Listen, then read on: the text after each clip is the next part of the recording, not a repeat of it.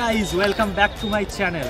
তো তোমরা সবাই দেখতেই পাচ্ছ, এখন আমি পৌঁছে গিয়েছি সেই ফুলের শহর, যেটা খুবই বিখ্যাত এখন, যার নাম হচ্ছে খিরাই আর তোমরা আশেপাশে দেখতে পাচ্ছ কত ফুলের বাগান। তো এখানে তোমরা দেখতেই পাচ্ছ যে বিভিন্ন ধরনের ফুল রয়েছে। আর এই সব ফুল খুবই কম দামে বিক্রি করা হচ্ছে এখানে।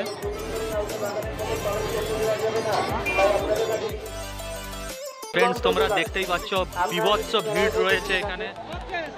যারা নতুন করে বাগানে প্রবেশ করছেন, তাদের উদ্দেশ্যে বলছি, পাঁচটা পেরিয়ে গেছে, তাই আর আপনারা নতুন করে বাগানের ভেতর প্রবেশ করবেন না।